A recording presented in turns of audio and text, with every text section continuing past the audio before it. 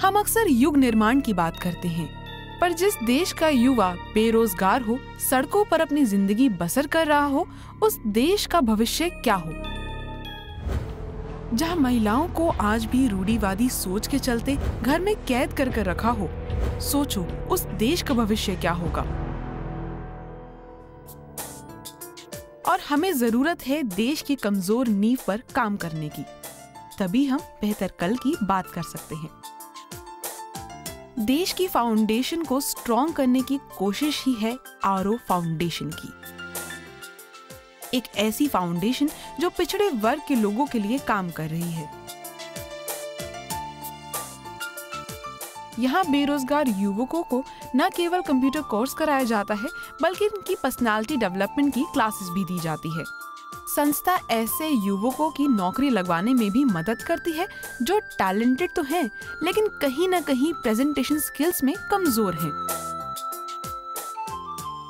मैं R foundation से computer basic computing का कोर्स कर चुका हूँ और इसी बेसिक कंप्यूटर के थ्रू मुझे जॉब मिली है। मैं एक अच्छी मल्टीनेशनल कंपनी में जॉब कर रहा हूँ इस टाइम वहाँ पे मैं सेल परचेज और ऑर्डर्स वगैरह की एंट्री कंप्यूटर में करता हूँ। साथ ही संस्था कई ऐसे सेंटर्स भी चलाती हैं जहाँ लड़कियाँ न केवल पढ़ पाए बल्कि उन्हें वोकेशनल ट्रेनिंग भी दी जाती है। वो कटिंग टेलरिंग ब्यूटिशियन जैसे कोर्सेज सीखती हैं ताकि वो खुद अपने पैरों पर खड़ी हो सकें। गरिमा एक हमारा प्रोजेक्ट है यह गरिमा प्रोजेक्ट मेनली अधिकतर महिलाओं के लिए है। इन महिलाओं को जिसमें कि बहुत सारी हाउसवाइफ भी होती हैं, बहुत सारे यंग लड़कियाँ हैं। गरीब परिवारों से ये लोग हैं, अधिकतर बीपीएल परिवारों से हैं या फिर गरीबी में रह रहे हैं। उन लोगों को जो कि अफोर्ड नहीं कर सकते हैं इस टाइप की जो हम उनको स्किल्स देते हैं। यहाँ आके वो अलग अलग तरह की स्किल्स सीखते हैं, जैसे कि कटिंग टेलरिंग है एम्ब्रॉयडरी है हैंड क्राफ्ट मेकिंग है कैंडल मेकिंग है, अगरबत्ती मेकिंग है। इस तरह के हम लोग कोर्सेज इनको कराते हैं।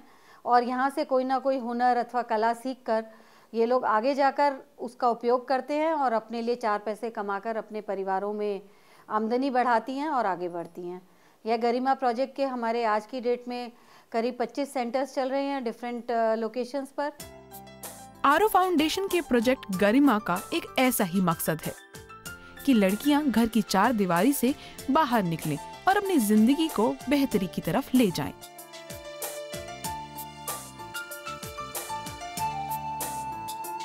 आरो ने अपने कदम बढ़ाए और अपने प्रोजेक्ट पढ़ो और बड़ो के ज़रिए ऐसे बच्चों को शिक्षा देने का फैसला किया, जो न केवल गरीब हैं, बल्कि जिन्होंने कभी स्कूल को देखा तक नहीं। आज की डेट में हमारे पास 6000 ऐसे बच्चे हैं, लगभग 200 सेंटर्स हैं दिल्ली और एनसीआर में, जहाँ 6000 बच्चे इस प्रकार के एकत्रित होते हैं अलग अलग सेंटर्स में और उनको हम स्कूल में दाखिल कराते हैं। इन बच्चों को जनरली जो है वो कोड़ा बीनने का काम करते हैं, कुछ बच्चे स्ट्रीट में माँ बाप नहीं हैं ऑर्फन्स हैं, कुछ बच्चे स्ट्रीट चिल्ड्रन हैं, कुछ बच्चे टी स्टॉल्स पे काम करते हैं चाइल्ड लेबर हैं, कुछ बच्चे हैं जो गरीब तबके के हैं, जिनकी माएँ घरों में काम करती हैं, उनके पिता ड्राइवर्स हैं और बहुत ही डिफ़िकल्ट सर्कमस्टांसिस में बच्चे अत्यधिक गरीबी में रह रहे हैं स्लम्स में रहते हैं और कभी स्कूल नहीं गए हैं। इन बच्चों को हम लोग अपने सेंटर्स में लेकर आते हैं यहाँ पे हमारी एजुकेटर्स उनको अच्छी शिक्षा देती हैं और ये देखती हैं कि वो किसी भी प्रकार से कुछ ही महीनों के अंदर स्कूल में दाखिल हो जाएँ।